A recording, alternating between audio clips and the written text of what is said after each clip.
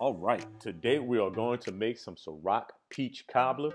Make sure you hit the like button, the subscribe button, do all that good fun stuff down there.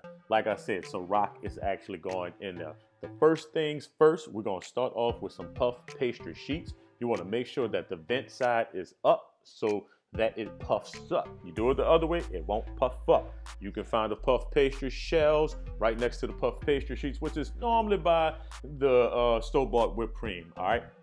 So what you wanna do is you wanna take some cinnamon and some sugar and mix them up and combine them and then let it rain cinnamon sugar. Matter of fact, we're gonna do this cinnamon sugar rain for the duration of this recipe, all right? Then you wanna take a little bit of water and a little bit of egg, mix them together because you wanna make your egg wash, all right? This egg wash is gonna help us have a beautiful brown puff pastry, all right? If you don't do this, you're gonna have an albino puff pastry, all right? And nobody wants no albino puff pastries. Everybody want their puff pastry to come out golden brown and looking delicious. No disrespect to anybody who may be albino out there. We just want our puff pastries to be golden brown, all right? So go ahead on, put your egg wash over all the top of those uh, puff pastry sheets. And then what we're gonna do is we're gonna go ahead on and pop them into a 425 degree oven for about 17 to 22 minutes, maybe more like 20 minutes, just depending on how hot your oven is, all right? So what we're gonna do is we're gonna take some frozen peaches, do not use no canned peaches, some frozen peaches, and then we're gonna add some dark brown sugar to it, all right? So we're gonna add our dark brown sugar, and then we're gonna add some cinnamon, some nutmeg, and some sugar to that, and some salt to that. And then we're gonna add some lemon zest to it. And then we're gonna go ahead on and add some lemon juice to that too. All right. And then we're gonna give that a good little stir. Break that in, get that a good little stir. All right, after that, we're gonna do our cornstarch into a little bowl, and then we're gonna add our Ciroc to that cornstarch so we can make our slurry. All right, this cornstarch Ciroc slurry. All right, and then we're gonna go ahead on and add some pure vanilla extract. Please do not use no imitation vanilla extract. Don't do that. Treat yourself. All right. Now, the reason why we got to create this slurry is because your peach cobbler is supposed to have a little bit of body to it, all right? It ain't supposed to be loose and running. You want a little body to it, okay? So give it a good little stir, and then we're gonna go ahead on and pour that into our peaches. Give that a good stir just to make sure everything's nice and combined, all right?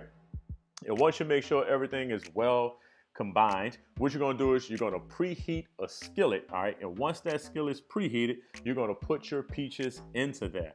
All right, now look, after you pull your peaches out, you see all that little residue in that bowl?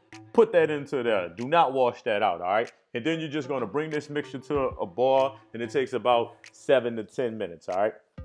So if you wanna be fun, you could go ahead on and add a little bit more more Ciroc right up in there, all right? Plain flavor Ciroc. Don't be adding no other kind of Ciroc, all right? Go plain flavor, all right? This stuff is already potent enough.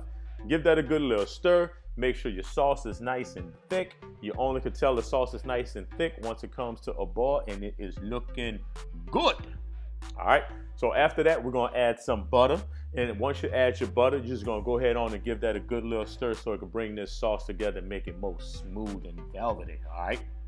So after you finish whipping up this sauce, your puff pastry should be ready. Look at how gorgeous that is. Just take a second and look. Looks good. So after they come out, take your puff pastry shells and transfer them to your platter. Then with a small knife, you wanna cut out and pull out those little tops of the shells, all right? Then take your cinnamon sugar mixture and go ahead on and make it rain cinnamon sugar on the inside of your puff pastry shells, all right? That's what we're looking for. Now what we're gonna do is we're gonna add some ice cream to this. I chose to go with vanilla ice cream. You feel free to do what you wanna do, all right? And then you're gonna take your peaches and put it on top. Now the chef's secret is, as you add these peaches to it, what you wanna do is you wanna press down on the ice cream so that hot peach cobbler mixture can begin to melt it and you get more room in it, all right? So after you finish doing that, we're gonna put more ice cream on the top. I surely hope you're not lactose intolerant, but if you are, this is the recipe and dessert that is worth you having a little extra fun a little later on, all right? Then what you're gonna do is you're gonna take your little sprigs of mint and get your garnish looking all good. And then we're gonna go ahead on and put our tops right back on top. We paid for those tops, we gonna eat those tops, all right? And then guess what? We're gonna make it rain some old cinnamon sugar, ladies and gentlemen. So after you get all your peach, peach cobbler parfaits all looking all beautiful, then you just take the leftover remaining sauces and any little scraps of peaches that may be left behind and have some fun with your platter creation, all right? Make, decorate it, have a little fun, have a little fun. Now look, those puff pastry shells comes about six to a box, all right? So that means you should have plenty to go around.